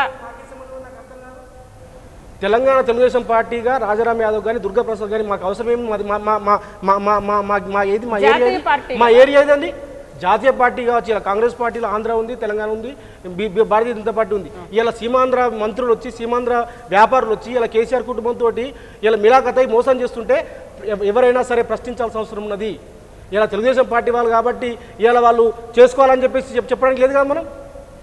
ఇలా యనమల రామకృష్ణుడు కానీ లేకపోతే ఇంకోళ్ళు కానీ ఇంకోళ్ళు కానీ లేకపోతే పయ్యావుల కేశవులు కానీ లేకపోతే ఇంకెవరైనా కానీ ఇలా కేసీఆర్ కుటుంబంతో ఇలా ఆలోచిపడి ఇలా తెలంగాణ ప్రజల సొమ్మును దోచుకుంటే మనం ఊరుకుందామా? తప్పు కదా అది. దాన్ని ప్రశ్నించొద్దా? ఎంత తప్పు అవుతుంది దుర్గా ప్రసాద్ గారు చెప్పండి. నాకు వినిపించలేదండి. అంటే ఈరోజు యనమలకి సంబంధించి కానీ లేదా ఇంకెవరైనా కానీ మేము ఒక తెలంగాణ బిడ్డగా వాళ్ళని ఆంధ్ర ప్రాంత సీమాంధ్ర మంత్రులుగానే చూస్తాము. సీమాంధ్ర మంత్రులు లేదా సీమాంధ్ర ప్రాంతానికి చెందిన వాళ్ళు వచ్చి ఇక్కడ కాంట్రాక్ట్లు ఇవి చేసి దోపిడీ చేస్తుంటే మేము ఖచ్చితంగా ప్రశ్నిస్తాము అని అనేది రాజారాం యాదవ్ గారు అంటున్నారు. దీన్ని మీరేమంటారు? అది జనరల్ ఇవాళ కాంట్రాక్ట్ ఇచ్చే దాంట్లో కానీ టీఆర్ఎస్ పార్టీ ఏం చెప్పింది? ఆంధ్ర వాళ్ళు చూసుకున్నారు అది చేశారు ఇది చేశారంటే ఈ ప్రభుత్వం కాంట్రాక్ట్ కూడా వాళ్ళకే ఇస్తుందని చెప్పి మేము ఎన్నోసార్లు మాట్లాడాం. దాని మీద ఏం డివియేషన్ లేదు. ఒకవేళ నిజంగా అక్కడి నుంచి అది కనుక ఆంధ్ర వాళ్ళకే పెద్దదారు వాళ్ళు ఇస్తున్నారు తెలంగాణ ఉద్యమం నేపథ్యం ఏమో ఏమొచ్చింది ఎందుకు ఇవ్వట్లేదు ఇవాళ కాంట్రాక్టులన్నీ ఎవరికి ఇచ్చారు ఇవాళ సబ్ కాంట్రాక్టులు ఏమో తెలంగాణ వాళ్ళని చేస్తున్నాం మామూలు మేజర్ కాంట్రాక్టులు మొత్తం కూడా ఆంధ్ర ప్రాంతానికి సంబంధించిన కాంట్రాక్టులు డివియేషనే ఖచ్చితంగా దాన్ని ప్రశ్నిస్తాం అది వేరే విషయం అది కాదండి మనం ఇచ్చింది పార్టీగా ఎవరో కాంట్రాక్టర్ ఆంధ్ర కాంట్రాక్టర్ ఇచ్చారు అనేది మనం రోజు మాట్లాడుతున్నాం కానీ మన పార్టీలో కూడా కాంట్రాక్టులు తీసుకొని ఇట్లా చేస్తున్నారు బలహీనపడుతుంది అన్నప్పుడు మనకు ఒక పార్టీ ఫోరం ఉంది కదా మన పార్టీ ఫోరంలో మనం బలహీనమవుతున్నాం కదా అని మాట్లాడుకోవచ్చు కదా అని అడుగుతున్నాను నేను కానీ తెలంగాణ తెలంగాణ టీడీపీగా తెలంగాణ బిడ్డలుగా మేము వాళ్ళని తెలుగుదేశం పార్టీగా చూడము ఆంధ్ర ప్రాంత దోపిడీదారులుగానే చూస్తాము. ఇప్పుడు ఎవరి పేర్లు అయితే ఎత్తామో వాళ్ళని అని అనేది ఇక్కడ రాజారాం యాదవ్ గారు అంటున్నారండి. పార్టీని ప్రస్తావించాల్సిన అవసరం లేదండి. పార్టీ పార్టీలో వాళ్ళు ఇవాళ కీలకమైన ఇప్పుడు తెలుగుదేశం పార్టీ అనేది సపరేట్ తెలంగాణ శాఖ అనేది సపరేట్ కాదు. తెలుగుదేశం పార్టీ జాతీయ పార్టీ కిందనే ఉన్నటువంటి శాఖ ఇది. అది గుర్తుంచుకోవాలి మనం. ఎందుకంటే పార్టీ విధానం అక్కడ ఉంటుంది అక్కడ మన మంత్రులు ఉంటారు వాళ్ళు ఉంటారు. వాళ్ళని మనం విమర్శించేటప్పుడు ఖచ్చితంగా నిజంగా కూడా సీమాంధ్ర ప్రాంతం వ్యతిరేకం. అసలు తెలుగుదేశం పార్టీ ప్రజలు తెలంగాణ పార్టీ ఉండాలా? తెలంగాణ పార్టీ అస్తిత్వం కోసం తెలంగాణ పార్టీలో ఉండాలా? తెలంగాణ తెలంగాణ మిత్రమా? మిత్రమా? మిత్రమా? తెలంగాణ తెలుగుదేశం పార్టీ అస్తిత్వం అనేది తెలంగాణ తెలుగుదేశం పార్టీ ఉన్నటువంటి అనేక మంది అశేషమైన లక్షలాది మంది దాదాపుగా పదిహేను ఇరవై లక్షల మంది కార్యకర్తలు ఇలా తెలంగాణ తెలుగుదేశం పార్టీ నమ్ముకొని ఉన్నారు. ఇలా సీమాంధ్ర వ్యాపారస్తులు సీ నలుగురు సీమాంధ్ర పెట్టుబడిదారుల కోసమో లేకపోతే అక్కడ ఉంటే నలుగురు మంత్రులు ఇక్కడ వ్యాపారాలు చేసుకుంటే వాళ్ళకు వాళ్ళకు వాళ్ళ వాళ్ళ వాళ్ళ లబ్ధిని వాళ్ళ వాళ్ళ యొక్క లాభాలకు మనం పరంగా పెడతాం మన మన ప్రయోజనాల్ని. ఇక్కడ పార్టీ ప్రయోజనాలు ఏం ప్రయోజనాలు ఉండాలి? తెలంగాణ ప్రజల ప్రయోజనాలు ఉండాలి పార్టీ ప్రయోజనాలు. తెలంగాణ ప్రజల యొక్క ఎజెండా ఉండాలి మనకి ఎజెండా. సీమాంధ్ర మంత్రుల ఎజెండా మనకు ఉండాల్సిన అవసరం లేదు ప్రసాద్ గారు చెప్పండి తెలంగాణ ప్రజల తెలంగాణ పార్టీ ప్రయోజనాల లక్ష్యంగా తెలుగుదేశం పార్టీ ముందుకెళ్ళాలి కానీ అక్కడ అక్కడ పార్టీ ప్రయోజనాలను చూసుకోవాలి. నేను అదే అదేనండి అక్కడ మంత్రులకి అక్కడ వ్యాపారవేత్తలకి పార్టీ ప్రయోజనాలను పణంగా పెడతామా అనేది ఇక్కడ ప్రశ్నిస్తున్నారండి. నేను నేను ఒక్కటే చెప్తున్నాను తెలంగాణ పార్టీ ప్రయోజనాలు ఇబ్బందిగా కలిగి ఉంటే మనం విద్యుత్ పార్టీ ఫోరంలో చర్చ చేసుకొని దాన్ని కూడా దృష్టికి తీసుకెళ్ళాలి ఇప్పుడు మనకి ఏది అక్కడ ఏదో మొన్న జరిగిన విషయంలో కూడా చంద్రబాబు నాయుడు గారు కూడా మందులు ఇచ్చినట్టు వచ్చింది. అట్లా కాదు. మనం కూడా విద్యుత్ పార్టీగా తెలంగాణ శాఖకు మనం కూర్చొని ఇగో మనకి ఈ రకంగా జరుగుతుంది. ఇది జరుగుతుందని ఎప్పుడైనా చంద్రబాబు నాయుడు గారి ముందు ప్రస్తావన వచ్చిందా కానీ. దుర్గా ప్రసాద్ గారు దుర్గా ప్రసాద్ గారు ఇక్కడే దుర్గా ప్రసాద్ గారు ఇక్కడ ఇంకొక విషయము. ఈరోజు రేవంత్ రెడ్డి గారు కాంగ్రెస్ పార్టీతో కలిసి పనిచేయాలి ప్రతిపక్షాల పునరేకి పునరేకీకరణ అనేది ఒక ప్రతిపాదన తీసుకొచ్చారు. దాని మీద ఇంత ఇష్యూ జరుగుతుంది. గతంలో ఒక సీనియర్ నాయకులు ఇటు టీఆర్ఎస్ టీడీపీ బీజేపీ కలిసి పోవాలి అని అని చెప్పి అన్నారు అప్పుడు ఎందుకు ఎవరు ప్రశ్నించలేదు? అది కూడా నేను ఏమంటున్నానంటే అది ఏది ఎవరు ఎవరు పొద్దు పెట్టుకోవాలన్నా పార్టీ డిసైడ్ చేయాలండి పార్టీ డిసైడ్ చేయకుండా వ్యక్తిగతంగా చెప్పి ఒక ఆయన రేపటి మాతో వీళ్ళతో మేము అంటగానం వాళ్ళతో పోతాం అని ఒక ఆయన అదే కరెక్ట్ కాదు. రేపు రెండు వేల పంతొమ్మిది ఎలక్షన్ కాడికి ముఖ చిత్రం రాజకీయ ముఖ చిత్రం ఏముంటుందో అసలు చెప్పలేదు. రైట్ అవసరమైతే ఈరోజు రేవంత్ రెడ్డి రేవంత్ రెడ్డి గారి ప్రతిపాదన మీద మీరేమంటారు చెప్పండి? ఈరోజు పార్టీలో ఏం చర్చ జరుగుతుంది? మీ అభిప్రాయం ఏంటి? ఈరోజు రేవంత్ రెడ్డి గారు పార్టీని వీడే పరిస్థితి కనిపిస్తోంది. ఒకవేళ అలా జరిగితే ఏంటి? భవిష్యత్ మేము ఒక్కటే అంటున్నామండి. మా సోదరుడు రేవంత్ రెడ్డి గారు ఇప్పటికీ తెలుగుదేశం పార్టీలోనే ఉన్నారు. వారి నాయకత్వంలో మేమంతా పనిచేయడానికి సిద్ధంగానే ఉన్నాము. వారు ఒక ఒక కాంక్రీట్గా ఒక పార్టీని కింది గ్రౌండ్ లెవెల్ నుంచి తీసుకొస్తే ఖచ్చితంగా ఆయనకి రెండు వేల పంతొమ్మిది కాబట్టి ఇరవై నాలుగు ఫ్యూచర్ ఉంటది. అంతేగాని ప్రజా వ్యతిరేకంగా పోరాటం చేద్దామండి ఇండివిజువల్ ఉన్నారండి ఎవరు గుర్తు లేకుండా చేసుకున్నారండి ఏమి ఇబ్బంది లేదు అది పార్టీని కూడా ఒప్పిస్తారండి అంతేగాని కాంగ్రెస్తో పొత్తు అనేది మాత్రం సాధ్యం కాదంటారు. నేను అనేది ఇక్కడ ఫండమెంటల్గా మనం చెప్పలేమండి. కాంగ్రెస్తో పొత్తు ఉంటుందా ఉండదా ఇంటర్నల్ ఉంటుందా అవగాహన ఉంటుందా ఇది టూ ఇయర్లీ రెండు వేల పంతొమ్మిదికి డిసైడ్ చేసేదండి. ఇప్పుడు ఇంకా వన్ అండ్ హాఫ్ ఇయర్ ఉంది. వన్ అండ్ హాఫ్ ఇయర్ ముందు మనం ఇప్పుడు ఆ పొత్తుల గురించి మాట్లాడే ప్రసక్తే లేదు ఈ రోజు. నేనేమంటున్నంటే మనకు పొత్తులు ఉండాలా వద్దా మనమే ఎస్టాబ్లిష్ కావాలనేది నిర్ణయించుకోవాలా ఇవాళ కాకపోతే ఇంకా నాలుగేళ్ళకి అధికారంలోకి వస్తాం ప్రజల పక్షాన్ని నిలబడాలి అది నేను అనేది right thank you Durga Prasad గారు ఫోన్ లైన్లోకి వచ్చినందుకు. శ్రీనివాస్ గారు శ్రీనివాస్ తాడూరి. శ్రీనివాస్ గారు వచ్చారు. ఇప్పుడే చెప్పండి. ఈరోజు రేవంత్ రెడ్డి గారి వ్యాఖ్యల మీద చర్చ జరుగుతూ ఉంది అసలు. అండ్ తెలంగాణ రాష్ట్రంలో తెలుగుదేశం పార్టీ మనుగడికి సంబంధించే చర్చ జరుగుతుంది. ఈరోజు టీఆర్ఎస్కి వ్యతిరేకంగా ప్రతిపక్షాల పునరేకీకరణ అనేది రేవంత్ రెడ్డి గారు ప్రతిపాదించారు. గతంలో అదే పార్టీకి చెందిన ఒక సీనియర్ నాయకులు టీఆర్ఎస్ టీడీపీ అండ్ బీజేపీ కలిసిపోవాలని ప్రతిపాదించారు. మొత్తం మీద ఇన్ని ఎందుకు ఈరోజు తెలంగాణలో సామాజిక విప్లవం తీసుకొచ్చామన్న తెలుగుదేశం పార్టీలు ఈ పరిస్థితి ఎందుకు వస్తుందంటారు? ఒక్కటి అజిత గారు ఏది ఏమైనా ఎవరు పోరాడినా ఏ రాజకీయ పార్టీ పోరాడినా లేకపోతే ఏ ప్రభుత్వం పనిచేసినా లేకపోతే ప్రజా సంఘాలు పనిచేసినా ఎవరు చేసినా తెలంగాణ ప్రాంత ప్రజల యొక్క ప్రజా ప్రయోజనాల గురించి పాటుపడాలి. రెండవది తెలంగాణ రాష్ట్ర అభివృద్ధి గారి గురించి పాటుపడాలి. రెండోది? చెప్పేది నేనేమంటున్నానంటే ఈరోజు ఎవరైనా సరే అది. ఈరోజు ఏదన్నా అనేక సంస్థలు కూడా తెలంగాణ రాష్ట్రానికి ఈరోజు ప్రజలు కోరుతున్నది ఏంటి? ఒక హైకోర్టు విభజన కోరుతా ఉన్నారు. అది ఎవరి మీద పోరాటం చేయాలి అనేది కేంద్రం మీద పోరాటం లేదు ఒక కృష్ణా బోర్డు వాటర్ గురించి పోరాటం చేయాలి. ఈరోజు రేవంత్ రెడ్డి గారు కొన్ని మౌలికమైన ఇష్యూస్ లేవనెత్తారు. ముఖ్యంగా అక్కడ మంత్రికి ఇక్కడ రెండు వేల రూపాయ రెండు వేల కోట్ల కాంట్రాక్ట్ ఇక్కడ అప్పగించడము ఆంధ్ర కాంట్రాక్టర్లందరినీ ఇక్కడ తీసుకొచ్చి ఇక్కడ అప్పగించడము ఏ నినాదం కోసం అయితే తెలంగాణ రాష్ట్రం కోసం మనం పోరాడామో అది మొత్తం ఈరోజు అవ్వట్లేదు కదా. ఆంధ్రప్రదేశ్కి సంబంధించిన తమ సొంత పార్టీ నేతలకే ఇక్కడ కాంట్రాక్ట్లన్నీ దోచి పెడతా ఉన్నారు. ఆంధ్ర పాలకులతోటి లేదా ఆంధ్రప్రదేశ్కి సంబంధించిన కాంట్రాక్టర్లు వీళ్ళందరితో కూడా తెలుగుదేశం ఇక్కడ టీఆర్ఎస్ ముఖ్యమంత్రి గారు ఇద్దరు కలిసి అంటగాగుతున్నారు అని అనేది ఆయన ప్రస్తావించారు. దీన్ని మీరు డ్యూ ప్రాసెస్ ఆఫ్ లా ఎక్కడైనా ఈ కాంట్రాక్టులు కానీ ఇది కానీ కేటాయింపులు వెస్టెడ్ ఇంట్రెస్ట్తో మనం కేటాయిస్తే దాని మీద కోర్టులు ఉన్నాయి వ్యవస్థలు ఉన్నాయి అంటే వ్యవస్థలు కుప్పగూలినాయా ఈరోజు ప్రజాస్వామ్యం లేదా? ఈరోజు అంటే ఎవరికి పడితే అలా ఇయ్యనికి సాధ్యమవుతుందా కాంట్రాక్టులు? ఇప్పుడు నేను అనుకుంటే ప్రభుత్వంలో అజిత గారి కాంట్రాక్ట్ అంటే అది ఇయ్యగలుగుతామా? ఒక్కటి ఇక్కడ రాజధర్మ పరిపాలన జరుగుతూ ఉంది. ఈరోజు తెలంగాణ రాష్ట్రం ఏర్పడ్డ తర్వాత ఈ తెలంగాణ రాష్ట్రంలో ఓటు హక్కు ఉన్నటువంటి ప్రతి ఒక్కరు కూడా ఆ ప్రజల్ని కాపాడవలసినటువంటి బాధ్యత ఇక్కడ నివసిస్తున్నటువంటి ప్రజలకు కావాల్సిన సౌకర్యాలను కల్పించడంలో.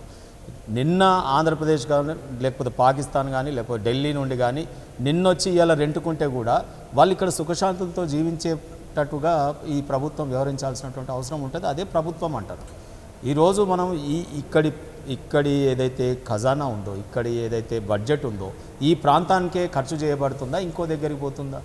కాంట్రాక్ట్ ఎవరైతే ముందు ఇక్కడ ఇంజనీర్లు రూపొందించినటువంటి కాంట్రాక్ట్ ఏదైతే ఇస్తున్నామో దానికి ఎలిజిబిలిటీ ఉన్న వాళ్ళే వస్తారు కదా. ఇప్పుడు ఒక దాని గురించి పార్టీలో చీలికలంటే అది వారి ఇష్టం. దాని మీద మనం ఒపీనియన్ ఇవ్వాల్సిన అవసరం లేదు. నేను ఒకటి కోరుకుంటుంది ఏంటంటే ఆ రోజు సకల జనులు కానీ లేకపోతే అన్ని పార్టీలు కానీ మనం ఏ రకంగానైతే కలిసి తెలంగాణ రాష్ట్రాన్ని సాధించుకున్నామో దానికి కలయిక ఏర్పడితే ఎవరైనా హర్షిస్తారు.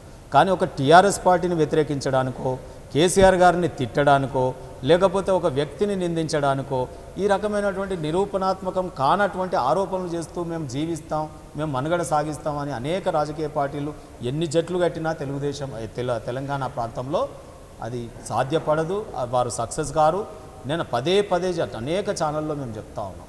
తెలంగాణ రాష్ట్ర ప్రయోజనాల గురించి మీరు పోరాడండి. అనేక సమస్యలు పునర్విభజన బిల్లులో తెలంగాణ ఇచ్చినాం మేమే ఇచ్చినాం మేమే ఇచ్చినాం అనే జాతీయ పార్టీలు కూడా రెండు పదే పదే చెప్పుకుంటా ఉన్నాయి. మరి ఇచ్చినటువంటి వాళ్ళు ఆ ప్రయోజనాలు వారు తెచ్చినటువంటి బిల్లులో ఉన్న ప్రయోజనాలు ఈరోజు కేంద్ర ప్రభుత్వం కానీ పక్క రాష్ట్రం కానీ సహకరిస్తుందా లేదా? వారి వారి ఆ ప్రభుత్వాల యొక్క పార్టీలు ఏవి? కేంద్ర ప్రభుత్వం మనకు సహకరించాలనుకున్నప్పుడు అక్కడ లీడ్ చేస్తున్నటువంటి రాజకీయ పార్టీ ఏది? ఎన్డీఏలో భాగస్వామ్యం బీజేపీ తెలుగుదేశం. వారి నుండి కేంద్రం నుండి రావాల్సిన ప్రయోజనాలు ఆ పార్టీల మీద యుద్ధం ఉండాలి.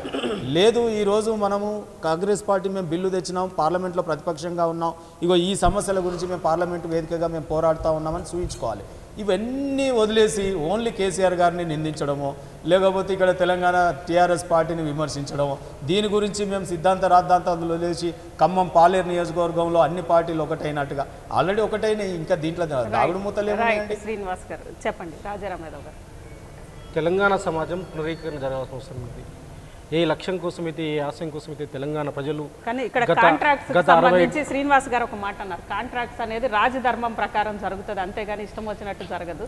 కేవలం మేము నిబంధనలకు అనుగుణంగానే కాంట్రాక్ట్స్ అన్ని కూడా ఇచ్చాము అని అని చెప్పి ఆయన అంటున్నారు. ఏమంటున్నామంటే వాళ్ళు ఏ రకంగా పోతున్నారు అనేది మనకు అర్థమవుతుంది. ఇలా మెగా కృష్ణారెడ్డి కానీ ఇలా మొత్తం తెలంగాణ ప్రాంతంలో జరుగుతున్నటువంటి ఈ వాటర్ గ్రిడ్ కానీ లేకపోతే మిషన్ భగీరథ కానీ ప్రతిదీ కూడా ఇలా ప్రాజెక్ట్ రీడిజైనింగ్ పేరిట జరుగుతున్నటువంటి కాళేశ్వరం కానీ మిగతా ప్రతి ప్రాజెక్టు ఎవరికి సీమాంత ప్రాంతాలకు సంబంధించిన వాళ్ళ బిడ్డలు చేస్తుండ్రా తెలంగాణ బిడ్డలు చేస్తుండ్రా అంత మనం ఏం ఇవాళ- ఇవాళ ఏం- తెలంగాణ ఇవాళ- ఇవాళ- ఇవాళ- తెలంగాణ బడ్జెట్ అనేది తెలంగాణలో ఖర్చు పెడుతున్నామా లేదా అనేదే ప్రాతిపదిక మనం మనం మనం మనం మనం కోరుకున్న స్వయం పాలన గది మనం కోరుకున్న తెలంగాణ గది మనం కోరుకున్న స్వా స్వాల స్వాభిలా మనది గది మనం తెలంగాణ ఆత్మ అది.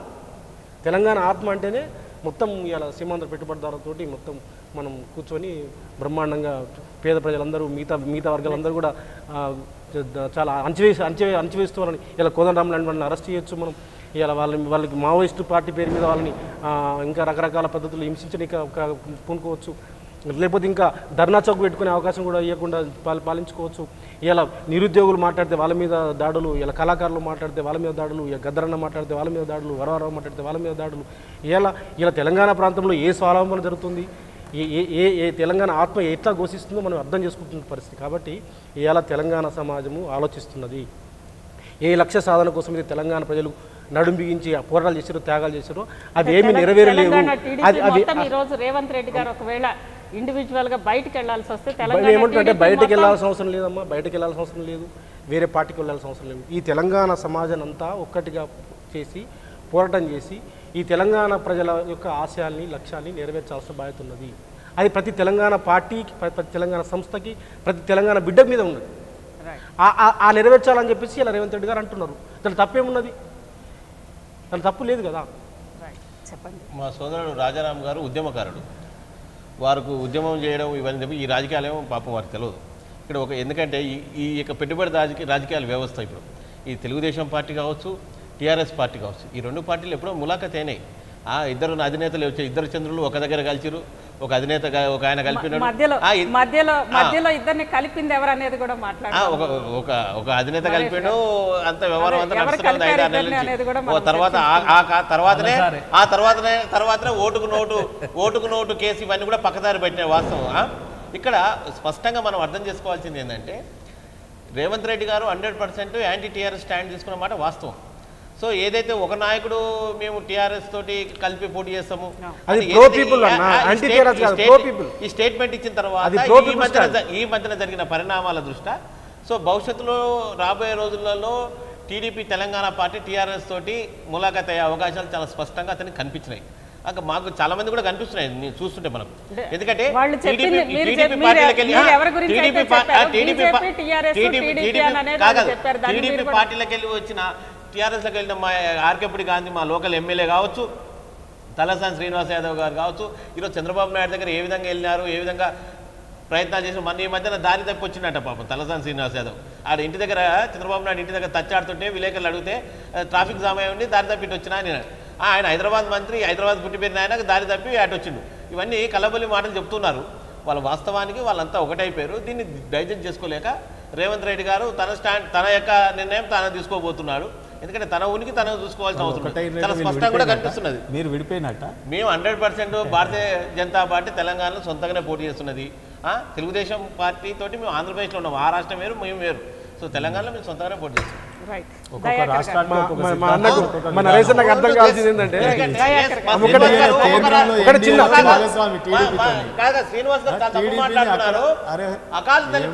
హర్యానాలో? ఉన్నది మేడం పంజాబ్లో? పంజాబ్లో మాత్రమే అకాల్ దళ తోటి పొత్తండి హర్యానాలో ఎక్కడ? మేము అలయన్స్లో పోటీ చేయలేదు. చాలా స్పష్టంగా కలిసి హైదరాబాద్లో ఉన్నది హైదరాబాద్లో కూడా శివసేన శాఖ ఉన్నది మహారాష్ట్ర కూడా శివసేన శాఖ ఉన్నది. తెలుసుకోవాలి. ప్రాంతీయ. పార్టీలు అన్నప్పుడు ప్రాంతీయ పార్టీ అంటే ప్రాంతీయ పార్టీ అక్కడ? ప్రాంతీయ పార్టీకి పక్క రాష్ట్రంతో ఉంటుంది. మా జాతీయ పార్టీ కాబట్టి మేము జాతీయ లెవెల్ ఉంటాము ఏకో రాష్ట్రంలో దాని యొక్క ఎజెండా అంశాల ప్రకారంగా మేము ఉంటాం.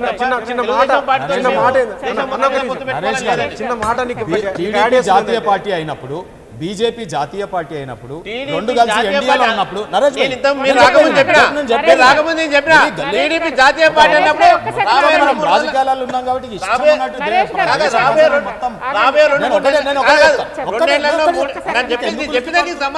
చెప్పింది. లేదు. నరేష్ గారు దబాయించండి. చెప్పండి. అజిత గారు. చెప్పండి. ఎన్డీఏ భాగస్వామ్య పక్షం. రెండు జాతీయ పార్టీలు కలిసి గవర్నమెంటు మనకు తెలుగు తెలుగు ప్రజలకు రెండు రాష్ట్రాలు అనుకున్నప్పుడు టీడీపీ జాతీయ పార్టీ అయినప్పుడు బీజేపీ జాతీయ పార్టీ అయినప్పుడు రెండు అక్కడ కౌగలించుకున్నప్పుడు ఢిల్లీలో ఆంధ్రప్రదేశ్లో కౌగలించుకున్నప్పుడు తెలంగాణకు రాగానే విడిపోతామంటే ఇట్లా ఇక్కడ నాటకమా? నేనే? చాలా స్పష్టంగా చెప్పినా. దేశం ఎక్కడ కన్యాకుమారి పోయినా కలిపే పోవాలి. చాలా స్పష్టంగా- కన్యాకుమారి పోయినా కేరళ హనీమూన్ పోయినా ఢిల్లీ పోయినా. ఎట్లున్నా ఒక్కొక్క ప్రాంతంలో ఒక్కొక్కసారి మీరు చెప్పిన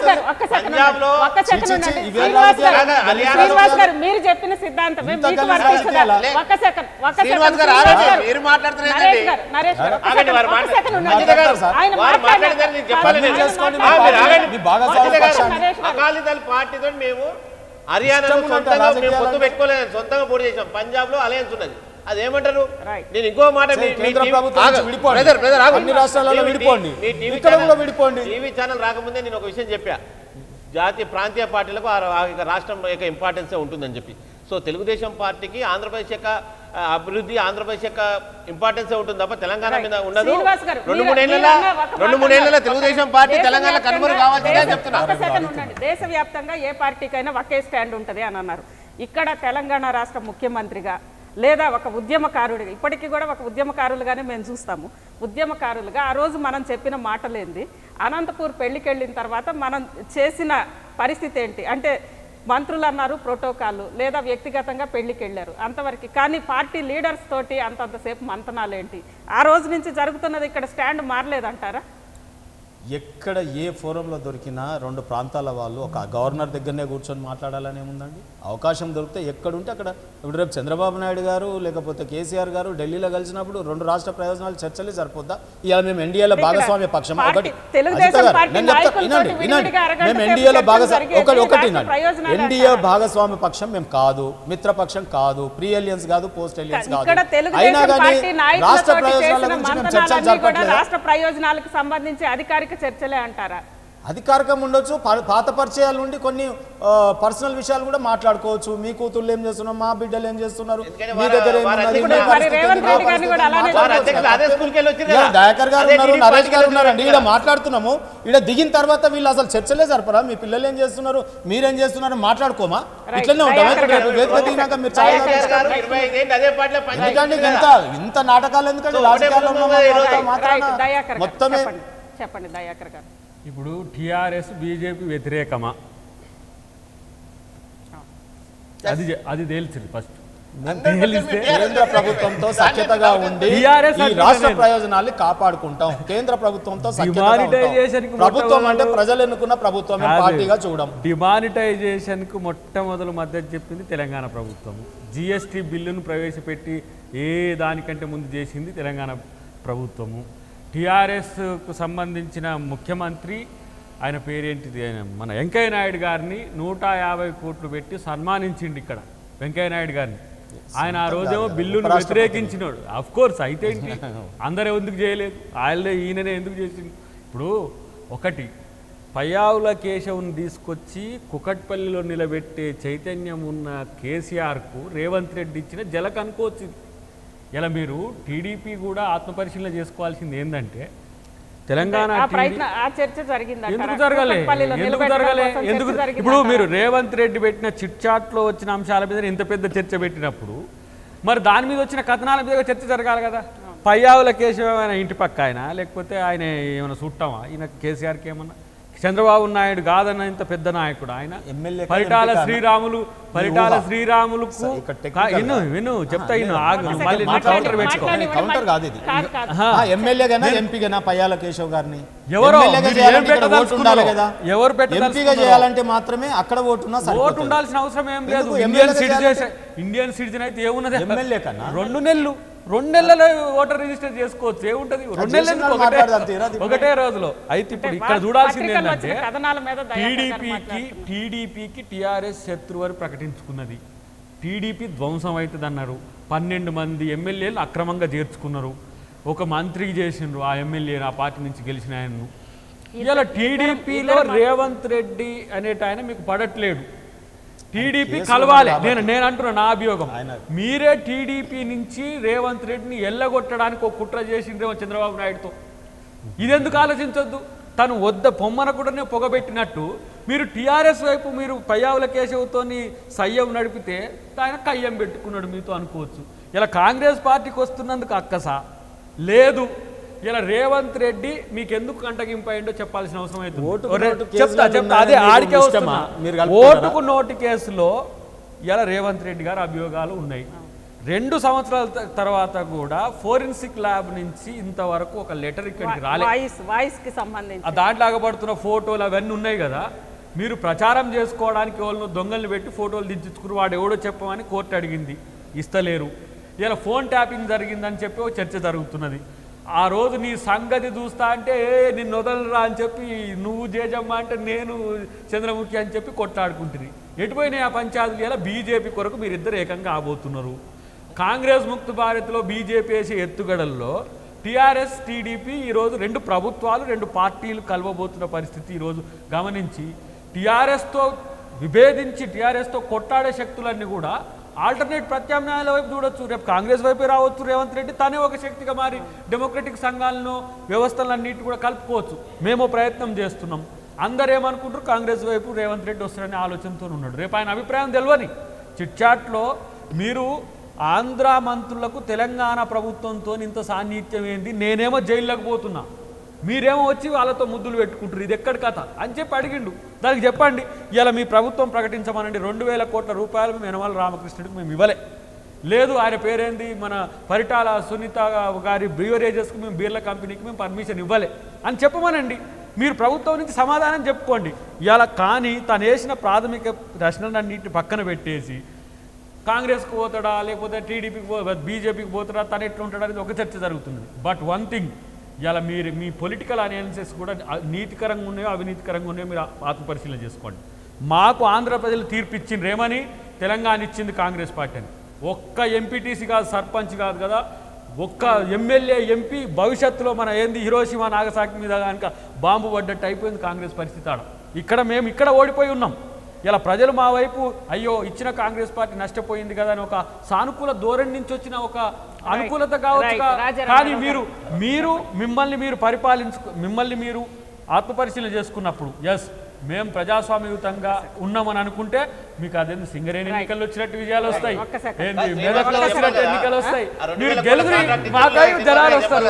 రాజ- రాజారాం యాదవ్ గారు రాజారాం యాదవ్ గారు ఒక్కసారి ఈరోజు దాదాపు అంటే మళ్ళీ కూడా చర్చ మనకి ఫస్ట్కే వస్తుంది. ముఖ్యంగా ఒక జాతీయ పార్టీగా మనం తెలుగుదేశం పార్టీని చూస్తూ ఉన్నాం.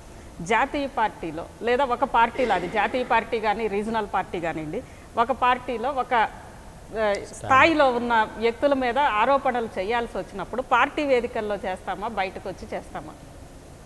ఖచ్చితంగా పార్టీ పార్టీలో ఇంటర్నల్గా మాట్లాడుకోవాలి కదా ఇంటర్నల్గా మాట్లాడ మాట్లాడుకోవాల్సి వచ్చినప్పుడు ఈరోజు యనమల గారి మీద కానీ పరిటాల గారి మీద కానీ మీరు వీళ్ళందరి మీద బహిరంగంగా కామెంట్ చేయడం సమంజసమే అంటారా? ఏమంటున్నంటే ఖచ్చితంగా ఒకవైపు తెలంగాణ ప్రజలందరూ పునరీకరణ జరుగుతున్న సందర్భంలో ఇలా ని నిజాయితీగా కష్టపడి ఒకవైపు ప్రయత్నం చేస్తుంటే సీమాంధ్రకు సంబంధించినటువంటి కొంతమంది మంత్రులు వాళ్ళ వ్యక్తిగత ప్రయోజనాల్ని వాడుకొని తెలుగుదేశం పార్టీకి నష్టం చేస్తున్నారు. ఇవాళ చంద్రబాబు నాయుడు గారిని వ్యతిరేకించడం కాదు. ఇలా చంద్రబాబు నాయుడు గారి ప్రయోజనాలు ఏం లేవు ఇక్కడ. వీళ్ళు వ్యక్తిగతంగా లోకల్లో ఇక్కడ ఉంటే హైదరాబాద్ ఉన్నటువంటి వీళ్ళ ఆస్తుల కోసమో లేకపోతే వ్యాపారాల కోసమో ఇలా తెలుగుదేశం పార్టీని వాడుకుంటారు తద్వారా తెలంగాణ తెలుగుదేశం పార్టీ ఎదుగుదలకు ఇబ్బంది అవుతుందనే తన బాధను వెలి తప్ప మరొకటి కాదు. ఇలా వ్యక్తిగతంగా యనమల రామకృష్ణ మీదనో వ్యక్తిగతంగా పయ్యవల కేశం మీదనో ఇంకే మీదనో వాళ్ళిద్దరు మంచి ఫ్రెండ్స్. ఒక రకంగా చెప్తే వాళ్ళిద్దరు మంచి ఫ్రెండ్స్. కానీ అలా వాళ్ళ అతని యొక్క వ్యక్తిగత ప్రయోజనాల కోసం వాళ్ళు ఇది చేస్తున్నప్పుడు ఖచ్చితంగా ఆ బాధను వెలిపుచ్చింది తప్ప మరొకటి కాదు. ఇలా వారు వారు చెప్తున్న ఒకటే అభిప్రాయం. ఇలా యమున రామకృష్ణ మీద మాట్లాడిందో పయ్యవల కేసు మీద మాట్లాడిందో కాదు. ఇలా తెలంగాణ ప్రజలందరూ కూడా ఏకం కావాల్సిన అవసరం ఉంది. ఆ ఏకమయ్యే క్రమంలో మనం వాళ్ళతో పాటు కలిసిపోదాము. ఈ రోజు రేవంత్ రెడ్డి కలిసి రేవంత్ రెడ్డి గారు ఒకవేళ పార్టీలో ఉండలేని పరిస్థితి వచ్చింది. అంటే ఆయన లేవనెత్తిన అంశాల మీద క్లారిఫికేషన్ లేదు. ఏంటి? తెలంగాణలో టీడీపీ అట్లాంటి పరిస్థితే ఉండదు. ఒకవేళ తెలంగాణ మెజార్టీ నాయకత్వం అంతా కోరుకుంటుంది ఒకటే. ఇవాళ టీఆర్ఎస్ పార్టీ వ్యతిరేకంగా ప్రభుత్వ వ్యతిరేక విధానాలకు వ్యతిరేకంగా పోరాటం చేయాల్సిన అవసరం ఉంది. అంటే తెలంగాణ తెలుగుదేశం పార్టీ స్వతంత్రంగా వ్యవహరిస్తుందా? అక్కడ అధిష్టానాన్ని కాదని స్వతంత్రంగా వ్యవహరిస్తుందా అధిష్టానం కూడా? అధిష్టానం కూడా ఖచ్చితంగా తెలంగాణలో ప్రజల యొక్క అభిష్టానికి అనుగుణంగానే నిర్ణయం తీసుకుంటుందని చెప్పేసి మేము భావిస్తున్నాము. ఎందుకంటే తెలంగాణ తెలుగు తెలు- తెలుగుదేశం పార్టీ తెలంగాణ ప్రజల స్వయంగా ఆంధ్రప్రదేశ్లో డిప్యూటీ ముఖ్య డిప్యూటీ సీఎం గా ఉన్న వ్యక్తే పోతే ఆయన పోవాలి కానీ ఇలాంటి అలిగేషన్స్ ఎందుకు అన్నారు? దాన్ని మీరు ఎలా మాట్లాడితేనో లేకపోతే ఇంకెవరో చిన్న రాజాపు డిప్యూటీ సీఎం చిన్న రాజాపు మాట్లాడితే ఇంకెవరు మాట్లాడితే కాదమ్మని ఏమంటారంటే ఇవాళ తెలంగాణ ఇవాళ వాళ్ళందరూ కూడా మంత్రులు కానీ వాళ్ళందరూ కూడా అధికారులు తెలంగాణ ప్రజల యొక్క తెలంగాణ తెలుగుదేశం పార్టీ కార్యకర్తల యొక్క రక్తం చెమట ఉన్నదన్న విషయం మర్చిపోవద్దు. ఇలా తెలంగాణ తెలంగాణ తెలుగుదేశం పార్టీ కార్యకర్తలు అనేక మంది త్యాగాలు చేశారు ఆ త్యాగాల పునాల మీద అందరూ నాయకత్వం వహించినటువంటి సందర్భం. ఆ ప్రజలు నిల ఆ ప్రజలు ఇప్పటికి కూడా తెలుగుదేశం పార్టీని తమ తమ ఇండ్లలో పెట్టుకున్నటువంటి సందర్భం. ముఖ్యంగా బల బలహీన వర్గాలకు సంబంధించిన ప్రజలు ఇలా వాళ్ళ వాళ్ళ ఒక కుటుంబంలో ఒక సభ్యుల్లాగా ఇలా ఈ నలుగురు పిల్లలు ఉంటే నలుగురు పిల్లలతో పాటు తెలుగుదేశం పార్టీ కూడా ఒక వాళ్ళ బిడ్డగా ఇలా చూస్తున్న సందర్భం. కాబట్టి ఆ ప్రజల వైపు నిలబడాల్సిన అవసరం ఉన్నది. ఆ ప్రజల వైపు నిలబడాల్సిన అవసరం ఉంది. ఆ ప్రజల నిలబడాలంటే pro people stand Telangana stand అదే అది అన్ని మొన్న ఏదైతే మొన్న సింగరేణి జరిగిన ఎలక్షన్లో అన్ని పక్షాలు ఏకమై ఇలా రెండు వందల కోట్ల రూపాయలు దాదాపు మూడు వందల కోట్ల రూపాయలు ఖర్చు పెట్టినప్పటికీ వచ్చినటువంటి తేడా మూడు వేల ఓట్లు మాత్రమే. కాబట్టి అది ఇంకా అది ఇంకా ముందుకెళ్ళాల్సిన అవసరం ఉన్నది. రైట్ అది ఇంకా చైతన్య రూపం దాల్సిన అవసరం ఉంది. ఇలా ఈ తెలంగాణ ప్రజల వైపు నిలబడాల్సిన అవసరం ఉంది మనం రైట్ శ్రీనివాస్ గారు చెప్పండి ఇక్కడ సరే రేవంత్ రెడ్డి గారి ఇష్యూస్ కానీ పార్టీలు పక్కన పెడితే తెలంగాణలో ముఖ్యంగా ఒక సామాజిక విప్లవం తీసుకొచ్చిన చరిత్రగా తెలుగుదేశం పార్టీని మీరు అందరూ కూడా అంగీకరిస్తారు కదా. ఈరోజు జరుగుతున్న పరిణామాలు చూస్తే తెలుగుదేశం పార్టీ మనుగడకే ప్రమాదం వచ్చే పరిస్థితి కనిపిస్తూ ఉంది. ఎలా? సామాజిక విప్లవం నిజంగా ఆ రోజు కాదు ఏ రోజు కాదు. డెబ్బై ఏళ్ళ స్వాతంత్రం అనంతరం ఇవాళ ఎంబీసీ చైర్మన్గా ఒక అదే వర్గాలకు చెందినటువంటి కుమ్మరి కులానికి చెందినటువంటి ఆయనని ఈరోజు ఎంబీసీ కార్పొరేషన్ ఒక వెయ్యి కోట్ల బడ్జెట్ దానికి ఒక చైర్మన్. మరి నియమించడం అంటే సామాజిక విప్లవం ఇయ్యాల వచ్చినట్ట లేకపోతే ఒకటి రెండు కులాలు బాగుపడినంత మాత్రాన ఆ, రోజు ఈ రోజండి తోటి పేరుతో చెప్పనీయండి, మంచి. నిజమైన సామాజిక విప్లవం. ఈరోజు కేసీఆర్ గారు సంచార జాతుల గురించి పట్టించుకుంటా ఉన్నారు ఈరోజు అనేక కార్యక్రమాలు తెలుగుదేశం పార్టీ. ఆవిర్భావంతో తెలంగాణ రాజకీయాల్లో మార్పు రాలేదంటారా.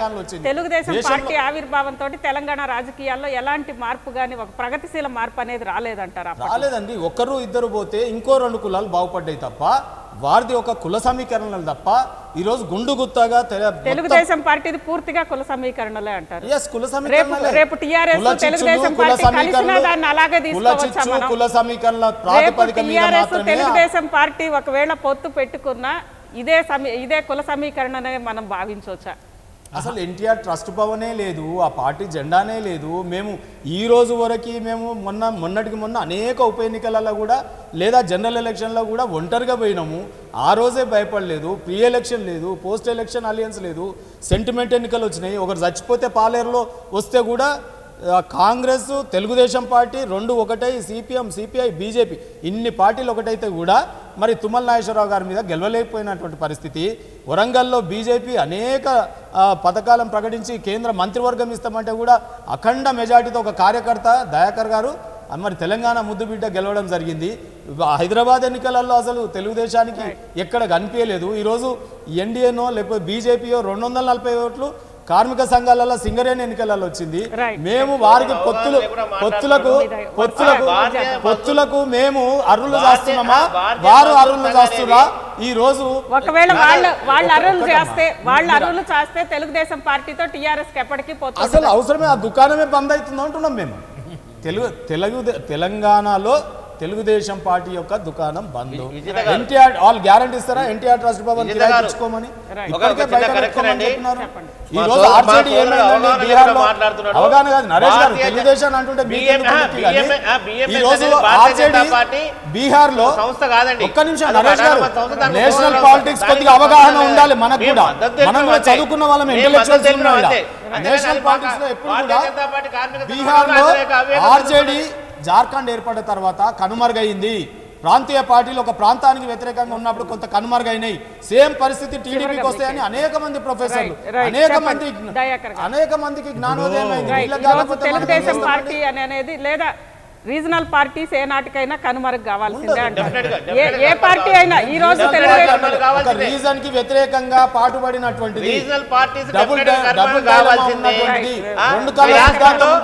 రాష్ట్రంలో ఇంకో ఐదు పదేళ్ళలో రెండే పార్టీలు మిగులుతాయి జాతీయ పార్టీలు మిగులుతాయి. ఒకటే కన్నుతోని రెండు రాష్ట్రాలు చూస్తుండు కేసీఆర్. ఇది ఇప్పుడు నష్టమవుతుంది ఎవరు పొత్తుల కొరకు ప్రయత్నం చేస్తారు? మా సీన్ ఏమో టీడీపీ మీద వ్యతిరేకతతో టీడీపీ కథమని ఈయన అంటున్నాడు చంద్రబాబు నాయుడును వేడుకుంటున్నాడు మయ్యగారు నువ్వు నాతో రా రెటు పోకు అని చెప్పి. టీ తెలంగాణ టీడీపీ ఎందుకు అవసరం ఏముంటది? తెలంగాణ టీడీపీ ప్రపోజల్స్ పెట్టింది కదా. తెలంగాణ టీడీపీ. ఇప్పుడు ఒకటి సామాజిక సమీకరణలే అందామా? శ్రీనివాస్ గారే చెప్పారు ఇప్పుడు అది కూడా చెప్పుకుందాం ఇప్పుడు. కాదు. అనేది ఏర్పడడం. మా వర్గాలు నేను బాగుపడితే చెప్తా, వారు నేను హర్షిస్తారు. చెప్తా. మా వేదికల ఒకరి- మీదకి వచ్చి ఈ మాట్లాడి కూడా వెళ్ళే మాట్లాడతారు. Yes, సంచార జాతరలో మీకు ప్రేమ ఎస్ ఉన్నది. ఒకవేళ అదే అనుకంటే నేనంట. మాదిగా చెప్పే ఎందుకు గుట్టాలి? గొల్లాయన గొర్రె ఎందుకు గాయాలి? ఇలా మెరకలు ఆయన పందే ఎందుకు దూరాలి పందులు మీరు కాయరి వాళ్ళు అధికారం తెస్తారు. ఇలా మాలాయన పోయి చెరువు కాపలు ఎందుకు ఉండాలి? కుల సమాజాన్ని విధ్వంసం చేసి కుల సమానత్వం కొరకు కదా పోరాడే రాజ్యాంగం. కాక ఒక్క నిమిషం. తెలంగాణ రాష్ట్రం నాయ బ్రాహ్మణుల మీరు సపోర్ట్ వాళ్ళు వాళ్ళు. మంగళ షాపులు మాట్లాడినివ్వండి తర్వాత మీరు మాట్లాడితే సపోర్ట్ మాట్లాడి. నేను. వీళ్ళని అంటున్నా నేను. కాదు. మాట్లాడింది ఒక విషయం ఏంటంటే? కేసీఆర్ గారు గొల్లవారికి గొర్రెలు ఇస్తున్నారు. ఈ మధ్యన. ఈ మధ్యన ఒడ్డెర ఒడ్డెర సంఘం వారు పోయి కేసీఆర్ గారిని అయ్యా మేము మరి ఈ రాళ్ళు కొట్టుకోవడం మా పని కొత్త యంత్రాలు వచ్చినాయి క్రెషర్ మిషన్లు. నా దగ్గరికే చర్చ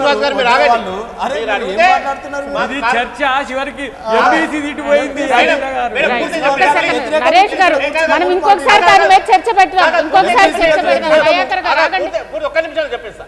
అని మాకు కార్పొరేట్ మాకు దానికి సంబంధించి కావాలి మాకు కూడా క్వారీస్ కావాలి సామాన్ కావాలంటే అరే ఏమయ్యా ఏం మాట్లాడుతున్నారు మీరు?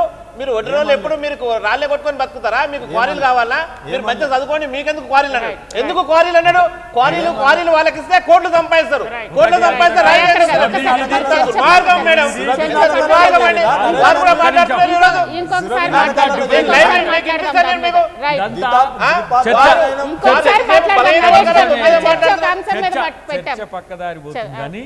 ఇలా రేవంత్ రెడ్డి గారు గత రెండు మూడు సంవత్సరాల నుంచి రేవంత్ రెడ్డి గారు కాదు బీజేపీ మిత్రులు కూడా అవసరమైతే కొంతమంది వామపక్ష భావజాల మిత్రులు కూడా కాంగ్రెస్తో కలిసి పనిచేసినాం వాళ్ళు చేసిన ప్రోగ్రామ్స్కి మేము పోయినాం. మా ప్రోగ్రామ్స్కి వాళ్ళు వచ్చిండ్రు. ఈ ఈ దేశంలో అతి నికృష్టమైన క్రూరమైన ఒక పరిపాలన ఇక్కడ జరుగుతుంది కాబట్టి పార్టీలకు అతీతంగా సిద్ధాంతాలకు అతీతంగా అరే కలిసి పనిచేస్తే బాగుండు? బా నీ కాన్నే. నీ కాన్నే. దరిద్రం? ఉన్నది కానీ ఇలాంటి పాలన కాలుతున్నప్పుడు ఇలా ఒక ఆలోచన వస్తున్నది. ఇలా అడవిలో ఉన్నోళ్ళు కూడా ఆలోచిస్తున్నారు ఈరోజు. మీరు ఎందుకంటే కోదండరామ్ లాంటి కూడా నక్సలైట్ అంటున్నారు కాబట్టి ఇప్పుడు. మొన్న మొన్నటిదానికనేమో ఆయన మంచి అందమైన బాలుడు రాముడు మంచి బాలుడు లెక్క. ఇప్పుడు నక్సలైట్ అయిన కోదండరామ్ మీ హోంమంత్రి బాధ్యత మరిచి మాట్లాడుతున్న తీరు చూస్తున్నాం. కాబట్టి అనిపించవచ్చు రేవంత్ రెడ్డి గారికి అనిపించవచ్చు రేపు మా నరేష్కి అనిపించవచ్చు అరే కాంగ్రెస్ చాలా మంచిగా ఉందని రా రావాలనిపించవచ్చు మా రాజారాం కూడా మిమ్మల్ని అందరినీ కూడా ఆహ్వానిస్తున్నాం. మీరు ఎంబీసీ చైర్మన్ నిన్ను కూడా అది అధికారం లేకుండా మేమే.